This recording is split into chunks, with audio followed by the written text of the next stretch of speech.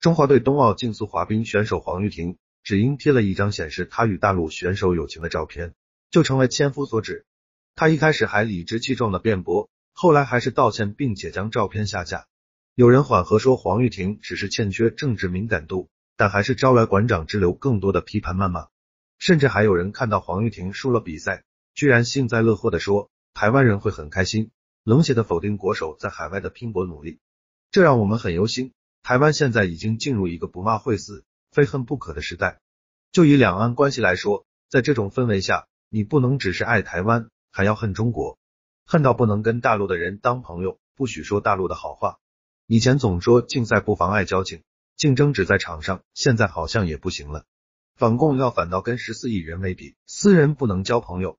台湾蓝绿的政治人物对黄玉婷讲的话倒还都算合理，但他在网络霸凌的气氛下还是要道歉，所以他不能与大陆选手有私交，不能有友谊。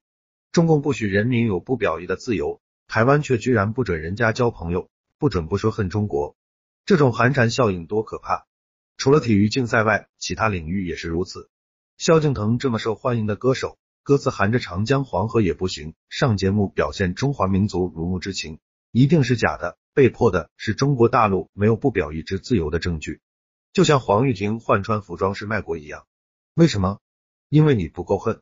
两岸对峙对立的情况不是今日开始，但现在更糟。更奇怪的现象是，台湾的绿营名嘴、作家、帮闲网红，自己天天骂中国也就罢了，而且还骂不太骂中国的人，因为不骂就是罪。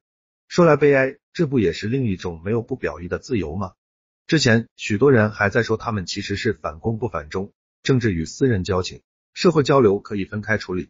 然而现在却很明显的看出，这些号称只是反共反独裁的人，不只要反中，还不许运动国手不反中国人，不准台湾歌手不反中华民族情怀。那对于几十万两岸通婚的家庭，不就是要逼着他们全家里外不是人？还记得不久之前？两岸的学术交流相当频繁，双方都对彼此互访的学者、学生极为友善，不仅建立了知识沟通桥梁，更建立了彼此深挚的交情。这其实是两岸和平最重要的基础。我们政治立场不相同，但却有超越政治的爱。如今，不仅正式交流停滞，甚至在否定两岸人民之间的友情、师生之情、亲情、爱情。这种非恨不可与不骂会死的状态，当然不仅限于两岸，而是国内蓝绿对抗的延伸。台湾的政治已经演变成蓝要骂绿，绿要骂蓝，双方不是相互竞争批判，而是一副要消灭对方的仇恨。然而，从宪政民主的角度来看，在也批评执政党政府天经地义，但批评政府不等于也不需要咒骂亲绿的老百姓。亲绿的人当然也还是我们的亲人朋友，只不过政治意见不同而已。而台湾更诡异的不是人民骂政府，而是政府骂人民，甚至是支持政府的人攻讦。咒骂其他对政府不满的人，政府执政党居然可以直接大骂民众与在野党，甚至用网军霸凌在野党以及所有批评者，煽动仇恨。任何人批评政府，他们就念经似的说那中国呢？怎么不骂中共？帮闲网红从来不尽公民义务，批判检讨监督政府，成天检讨人民与在野党，而且检讨批判的内容就是你不骂不恨中国，一个充满恨意的岛国家群体，当然对彼此也用恨来对待。要知道，批判竞争不等于骂，更不是恨。有人说奥运是竞技而不是格斗，别弄得这样难看。成在私言，但其实格斗也没那么难看。中国的 UFC 格斗选手张伟丽和美国号称暴徒玫瑰的罗斯激战，在第一场也充满了美国反中的民族气氛。可在二番战后，张伟丽虽然输了，但两人互拥。事后，张伟丽表示赞赏罗斯，这样的风度不是我们从小在书上鼓励的运动家精神吗？场上互相挥拳，打得鼻青脸肿的格斗赛，输了都不用恨，其他体育又怎样？鼓动仇恨的也许没有骂脏话，但是却是最标准的仇恨语言 hate speech。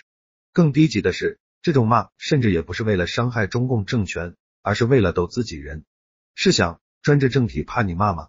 网军斗起台湾人，所到之处寸草不生。可是网军能让中共专制被撼动一丝一毫吗？这恐怕比苏院长的扫帚还无力呢。